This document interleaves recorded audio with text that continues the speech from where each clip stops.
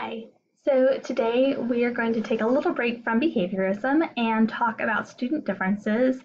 Um, specifically, we'll talk a little bit about intelligence and gender bias in this lecture today. So let's get started. So we'll start off with intelligence. And um, so my background is gifted education. So I um, have studied a lot about intelligence. So I'm going to bring a little bit of that expertise to this lecture today. So first off, what is intelligence? It's one of those words we use all the time, but what do we mean when we say intelligence? Um, I like to use this definition, comes straight from the dictionary. It's the ability to acquire and apply knowledge and skills. Um, so strictly thinking about um, knowledge and skills and how do we learn. So it's intelligence is like how good are we at learning and using those things that we learn. So the first question is really, is intelligence learned or innate? And again, if I just talk to common lay people, I might get different answers to that, right? Um, that I might get people who would say, oh yeah, you can definitely become more intelligent, that I could teach you to become more intelligent, or um, other people who would say it's, it's something that you're born with. Um, however, if I talk to researchers who are talking about the theoretical construct of intelligence and IQ, it's really something that most people, most researchers and experts in the field consider to be something that's pretty innate, something that you're kind of born with or born with the capacity to reach. Um, is it stable over time or does it grow? Now, obviously, it grows over time in the sense that as a um, that your ability to apply knowledge and skills gets better, that your um, that as a baby you don't know very much and your ability to apply what you know um, is limited. And as you get older you get better at that. However your intelligence in relations to others doesn't really change. So that your your IQ, your relative intelligence at five is relatively stable um, compared to your intelligence at 18 or at 20.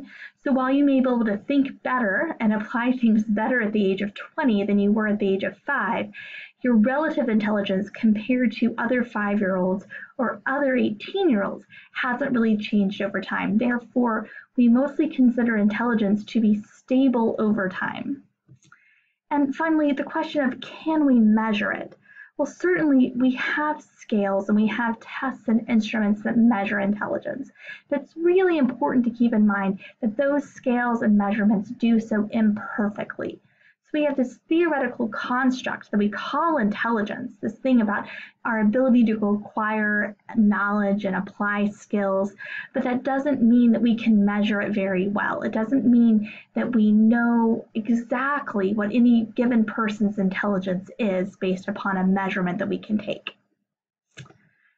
So a little bit about the history. How do we get to intelligence? How did this become a construct that we that we use, that we find useful, or that we even care about in schools or in our in our lives? So um, it kind of began with Army alpha testing. So going into World War II, the Army wanted a way we were recruiting and um, drafting lots of men into the Army, and we really wanted a way to be able to distinguish men that would be eligible or would be capable of um, commanding or being um, in an officer's role. So we started off with this Army alpha testing that was really meant to be a way to measure capacity for thinking that um, could theoretically um, divide men into those that could be capable of becoming officers or not. And, and we still have a version of this kind of testing today, although it's gone through many, many revisions. But this is one of the reasons why we first started thinking about why it might be important to measure this construct, whatever it is. And then that leads us to Alfred Binet. Um, in 1904, he developed the um, Binet scales um, in Paris, and he was really trying to come up with a measure to distinguish which children would benefit from schooling. So really thinking about who would who could be schooled. Um, and if we think about um, in the 1900s, we're, we're starting reform efforts, we're starting compulsory schooling, and it, it really is on the edge of whether or not we should be educating everyone. So really thinking about who's going to benefit, who can learn. So this intelligence is this idea of who can learn. Um, and then Lewis Terman took, he was working at Stanford, and he took the Binet test and um, adapted it for English. So we come up with the Stanford Binet test, which is still one of the major intelligence testing tests that we have um, in schools today. Um, he really changed the meaning of IQ and the intelligence quotient to mean a mental age divided by the chronological age. Now, that definition has changed since then. Um, and really thinking about um, intelligence in terms of school success, which is really where the history of intelligence testing has come from. And he used this intelligence test, he developed it, and he used it to um, to do a lot of longitudinal studies. In fact, one of the studies is the term determined studies is longitudinal study looking at um, uh, the, the top the top scores on his tests um, over time. And really, this was fundamental and foundational to the study of gifted education which is why I, I put it on here. Um, we he really was one of the first people to find that that smart people weren't um, you know um, less able or, or feeble. Um, there was this myth that gifted kids um, were less strong or might be more prone to sickness, and really Terman kind of showed that they they were actually pretty successful in life, um, and that there wasn't anything um, wrong with gifted with really smart people. Um, and, and we only found that out through doing this study. Now, there were some problems with this early intelligence testing. It was based upon some of some eugenics movements and, and this idea of trying to separate people by their intelligence, um, thinking in terms of race. And um, that's really, really problematic and nothing that any current researcher would endorse um, this idea that we believe that intelligence, or we know that intelligence is equally distributed across race, across um, ethnicities, across cultures, um, and that um, that that yeah, that this capability of learning and achieving doesn't have anything to do with um, with race. So there's some major groupings of intelligence testing now, and we start off with these traditional intelligence testing. So the Stanford Binet we just talked about, and the WISC or the Wechsler Intelligence Scales for children. There's also a scales for adults and a scale for younger children, um, infant or um, toddlers. And um, these tests are given one-on-one by trained psychologists. They measure working memory, digit spans, um, things like um, really traditional tests. They're pretty much considered the gold star of intelligence testing if, if we're going to give IQ testing a, um, a format. Um, and um, and they, they give a they give a what we might consider a measure that's valid across um, exceptionalities and those types of things. Um, we also have a group of intelligence testing that are group administered, so they're given with paper and pencil to a whole group of kids at once. Um, those include things like the COGAT, which is a cognitive abilities test, or the Otis Lennon. You might have heard of either of these tests. Um, these tests are um, are a little less accurate for kids who have any kind of exceptionality. So if I have dyslexia, for example, I'm going to have a harder time with a paper pencil test. Um, or if I have ADHD or if I have an attentional disorder, right? Um, so they're a little less accurate, um, although for typically developing students um, with no um, with no exceptionalities, they have a really high correlation with the traditional Stanford Binet or WEC, uh, WISC test, and they are um, they're a lot less expensive to give because I can give them to a whole bunch of kids at once. And finally, there's nonverbal IQ tests, um, something like the Raven's progressive matrices or the Naglieri nonverbal abilities test. And these tests don't rely on language at all. So you can see an example here on the left of a problem where you would you would have to find the pattern recognition. So these nonverbal tests are really interesting because um, theoretically they should um, eliminate a lot of bias that might be inherent in some other IQ tests that depend on language. So English language learners or people from um, non-majority cultures um, might be the test might be biased against and they might not do as well and theoretically a nonverbal test would eliminate these. So the problem with nonverbal tests is they don't really correlate to much. So while they can tell us, you know, pattern recognition and spatial reasoning skills, they don't necessarily tell us about thinking and processing skills in the way that we'd like to see a correlation with achievement, perhaps. Okay, so some problems concerning intelligence testing. So um, what, what do we see as some issues with this? Well, the first one is validity. And really the issue is um, we can't measure intelligence perfectly. Well, we can measure nothing perfectly, and intelligence is particularly tricky to measure. So when we get this score, we tend to want to think that it's this, this is my intelligence. I have a 130 IQ. But really and truly, we just aren't very sure about the accuracy of that measurement. Um, and it partly depends on how we define that construct. So because we don't have a well-defined construct, we don't really know exactly what intelligence means. We have a hard time measuring it with a lot of validity.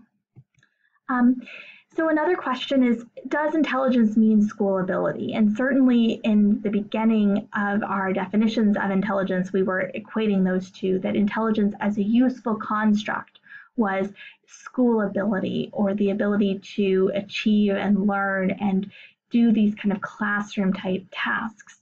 However, um, as a useful construct is, um, is a more practical view of intelligence, maybe more useful for life. And then the last question is there's been some really interesting research showing that, you know, with some intensive training that we can actually improve people's IQ scores, um, their scores on the test. So um, this question of can we improve IQ by doing these things? And the question would really be, um, is that a problem? Does this tell us that IQ can, can grow and learn and we can get better at it? Or does this tell us that our measurement of IQ is wrong? And that's really a theoretical question that you would have to answer for yourself. Is this a problem with how we measure it? So does the fact that we can get better on the measurement mean that our test is flawed? Or does it really mean that maybe perhaps intelligence is something that can learn and grow over time? And then finally, we do see um, differences in test scores um, that um, across gender or and across race at times.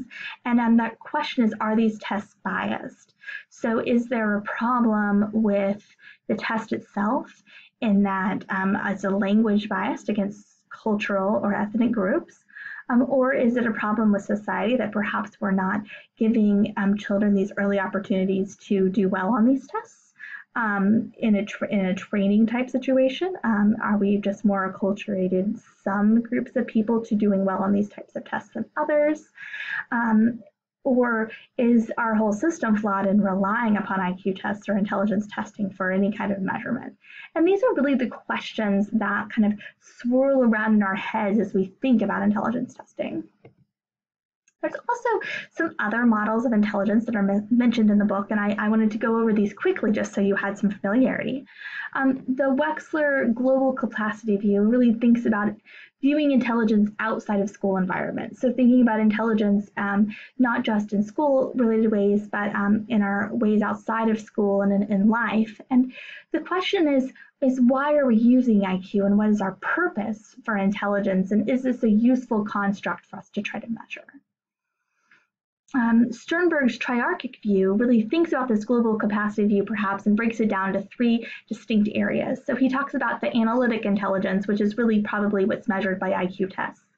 The creative intelligence, which is our, our ability to, to change um, and synthesize and come up with new and different ideas than other people's ideas.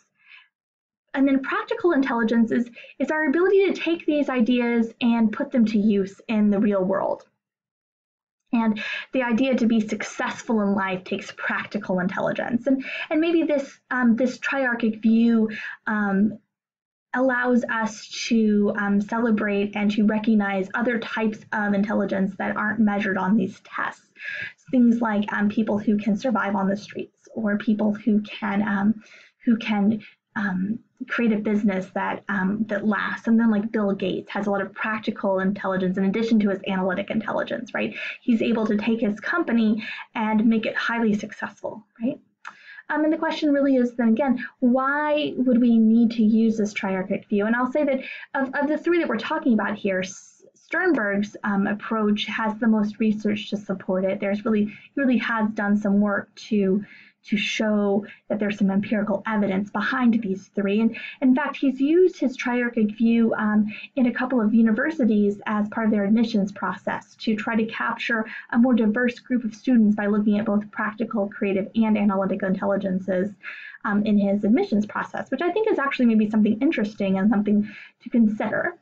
And then finally, Gardner's um, multiple intelligences view. And the only reason I'm mentioning this is because um, you're inevitably going to hear about it in some of your classes. And, you know, he's they list eight in the book. I think that there might be nine or ten now that he he keeps coming up with more intelligences. And I I want to say that I think it's interesting to perhaps think about the different ways in which um, students might have talents or the different ways in which we might express these talents. Um, but I wouldn't go as far as to say that they're intelligences, particularly since there's no empirical support for Gardner's theories that he really there really isn't any way that we could show that these are distinct constructs or um, useful in a way that would be practical for the classroom. So I would really stay away from the multiple intelligences view, except to maybe think about the ways and of course celebrate the different strengths of students, which we can do in other ways without having this framework of theories. So I would ignore multiple intelligences, but if you're looking for ways to think about intelligences outside of the traditional IQ, you might think about the triarchic view. On learning styles, um, I'm just going to say that you can skip this section of the textbook. Remember that there's really no empirical support for learning styles as differences between students, that really we know learning um, is kind of universal, that all kids really learn, and that um, we all learn best when we learn, when we're given opportunities to learn through multiple modalities and multiple ways. Um, and the exceptions would be obviously if I am deaf or hard of hearing, um, you know, an auditory presentation is not going to help me if I have an auditory processing disorder or if I have a, a diagnosed disability, then um, then obviously that's not going to be a style of learning that's open to me. But for most students, um, using lots of different ways to get the material across is the absolute best way. Um, so now you're smarter than the textbook. So give yourself a pat on the back. Okay, let's um, switch roles here and talk a little bit about gender differences and gender biases, which is also covered in the textbook in this chapter.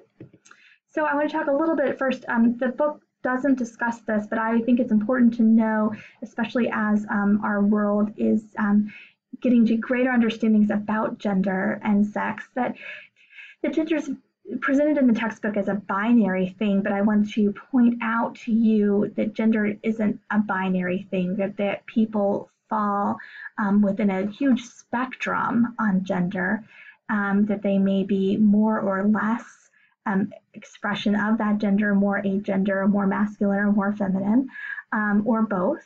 Um, that they that their biological sex may or may not match their gender identity, which is how they how they view themselves, um, and also their gender expression, um, which is how they express themselves to the outside world, and that that is also separate from who they are attracted to. So I just want to point that out and say that that while this this rest of this presentation really presents gender as perhaps more of a binary, that this isn't necessarily true, and that I want you to be aware of that in your classrooms and for your students. Okay, so observe gender differences um, in scores. Um, we know that boys outscore girls um, in general. Um, lots of studies have supported this um, in visual spatial abilities. So there's kind of nonverbal intelligence tests. Um, college entrance exams. So we have lots of support for things like the SAT and the ACT that the, the boys tend to outscore girls. and then when we ask boys, are you good at English language arts? Are you good at math? Are you good at science? Boys tend to have really high self efficacy, really high self concept there as compared to girls. So girls tend to outscore boys on tasks of memory. So um, things like um, working memory, repeating numbers back, those kinds of things. They tend to outscore boys um, in language use and language exams. But they um, and they tend to have higher grades or achievement than boys, but they have lower self-efficacy or self-concept. So even when they score higher than boys, even in subjects like math and science, um, they tend to still judge themselves as worse at it. So what does this mean? I think the real question here um, is nature versus nurture. So there's two ways we could interpret this. One would be that boys' brains are different than girls' brains, and you know there's maybe some evidence that shows that um, that if we look at male and female brains in adulthood, that they are different. Um, but we would want to know why. And we know that brains are malleable, so the pathways that you use in the brain become stronger over time. So if we ask boys, let's say boys, um, young boys, to do things like build with Legos, and we ask girls to do things like, you know, play with dolls and talk to their dolls, it makes sense that boys might, you know, in general be better at building and, and um, manipulating visual spatial things and, and girls might be better at, at, talking and using language right? So we have this systemic um, society in which we have nurtured boys and girls to have differential strengths um, on these tests and that's that's one explanation for these differences um, it also might be due to how we assess and grade these um, um, these on a personal level um, with with our grading and how the ways in which we talk to boys and girls. So um, I don't want to go go and say that these are strict biological differences, but that they might have to do with our society in general. So gender bias. So how do we where where do we experience or where is there gender bias? So the first one is there's been lots of studies that show that teachers are more likely to listen to boys answers than girls answers in class and to respond more positively to them. And um, that's something that we might do subliminally or subconsciously and not on purpose, but it's something to keep in mind as you interact with your students.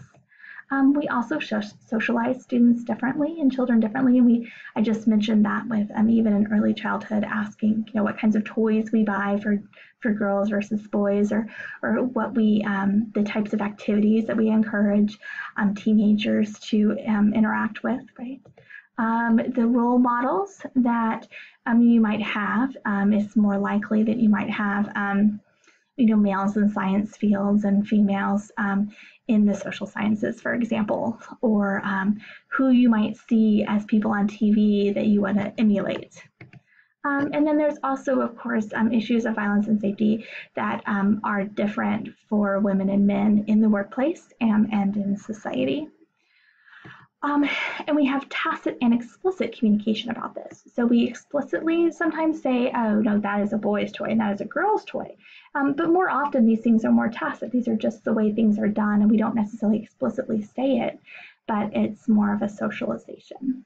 So these, this is part of our society, um, and how do we overcome it? So, what are the effects of this? Um, we know that early on, um, from middle school on, that there are differences in the courses that girls choose to sign up for versus boys, um, and that pathway into math and science that we call STEM pipeline. lots of research showing that, um, for example, that girls are much less likely to start on that STEM pipeline, start in those early math classes, and they're much more likely to exit that pipeline and continue on to a career in math and science. Um, so we know that there's an effect um, in career choice um, across um, across the country that we know that there are an overrepresentation of females in, let's say, elementary education and nursing, and an underrepresentation of females in careers like um, uh, chemical engineers, engineering, um, computer science. Um, we also know that there's a differential effective classroom class participation. The boys are much more likely to participate in most classes. Um, and so our question for us as teachers is what can we do? Are there ways in which we can organize and um, and encourage class participation, encourage course and career choices for our female students or for our male students um, to change these gender biases. So um, just some questions for you to think about in this lecture. And if you have any questions, please um, talk to me. I'm happy to answer emails um, or set up a meeting to talk to you. Bye.